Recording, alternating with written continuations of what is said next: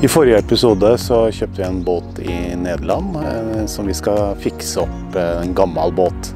Eh, nå skal vi ta en tur til båtfestivalen i Düsseldorf for å se på hva som er i gjære med elektriske motorer, og om det elektriske revolusjonen også har kommet til eh,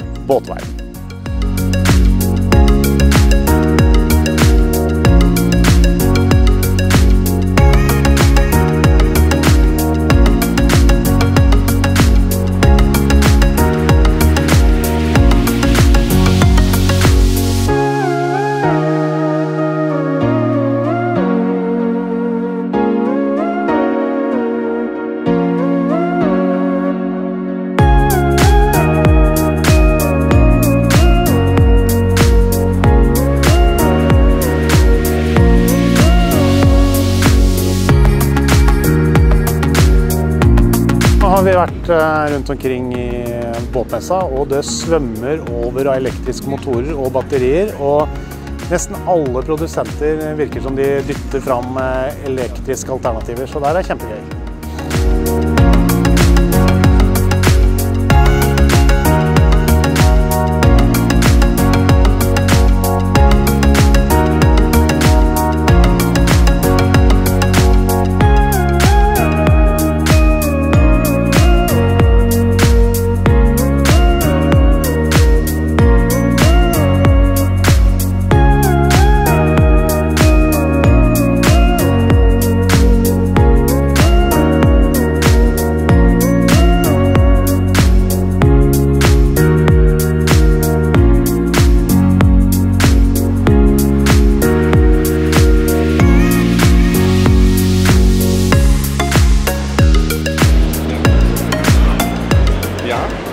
Det her er sånn der, eh, som vi kan eh, ta istedenfor uh, der vi har roret.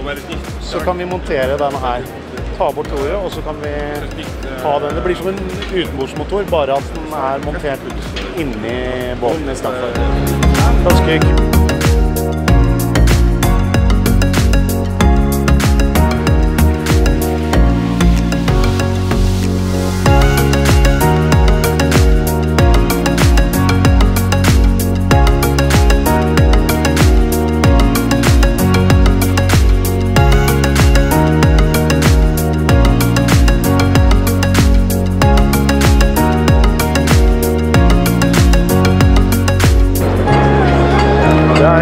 对。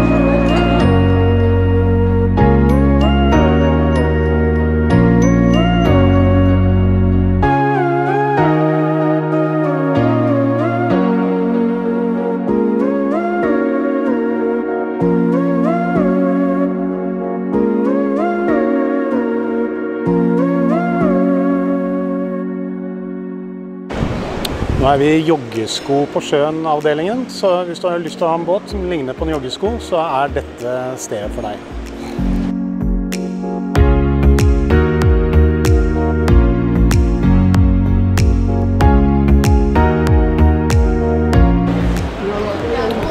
Masse sånne båter som er her på messa, med sånn snekkeaktige greier med utenbords elektrisk motor.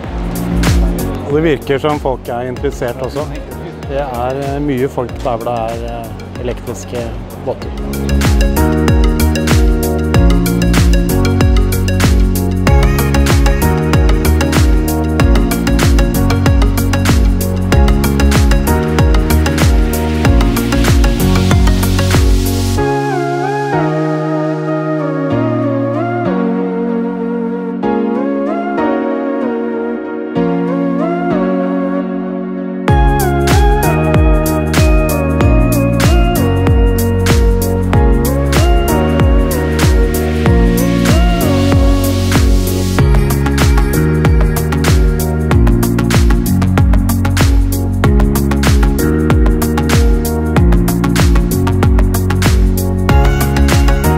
Da har vi vært eh, på båtmessa i Düsseldorf, eh, og det er egentlig veldig inspirerende. Det skjer veldig mye på elektrisk båtfronten.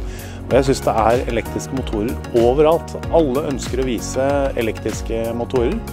Eh, Og man får virkelig følelsen at her skjer det ting, at vi er midt i begynnelsen av en utvikling, og at dette kommer til å ta helt av etter hvert.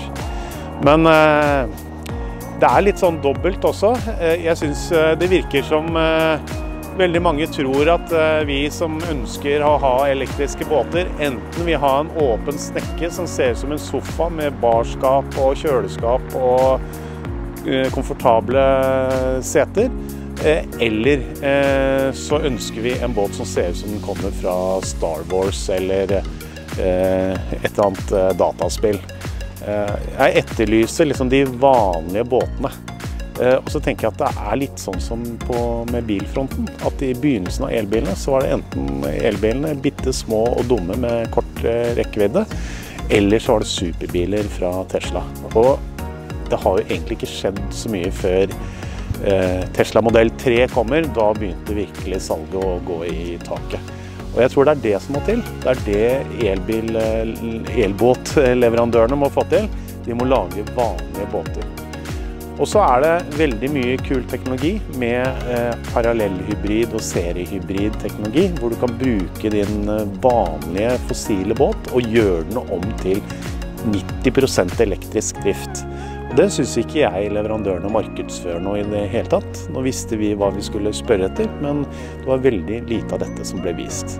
Så eh, i neste episode så skal jeg gå litt gjennom hva vi lærte, eh, og den forskjellige teknologien som ble vist fram.